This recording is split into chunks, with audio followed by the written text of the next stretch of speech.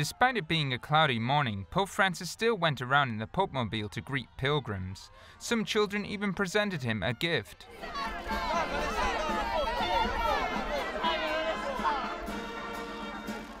During the Pope's catechesis, he focused on the first petition from the second part of the Our Father prayer Give us this day our daily bread. He said this petition should lead every Christian to think about those who suffer the most. E adesso ci farà bene fermarci un po' e pensare ai bambini affamati. Pensiamo ai bambini che sono in paesi in guerra, i bambini affamati dello Yemen, i bambini affamati nella Siria,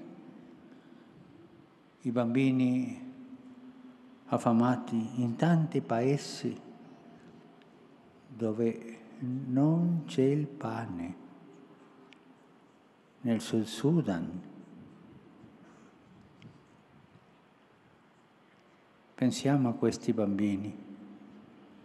E pensando a loro diciamo insieme, a voce alta, la preghiera, Padre, dacci oggi il pane quotidiano.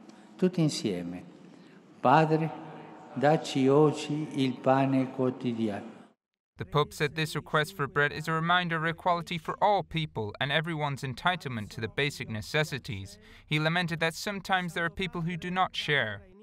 L'amore nostro non può sopportarlo e l'amore di Dio neppure può sopportare questo egoismo. Mettiamoci questo in testa.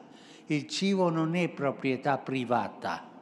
Stare attenti a questo. Non è il mio pane, è il nostro pane. At the end of the general audience, Pope Francis publicly paid tribute to an 85 year old nun. The Pope met her when he visited the Central African Republic in November 2015. Sister Maria Concetta has been a missionary for nearly 60 years, and the Pope explained how she has assisted in the birth of around 3,000 children.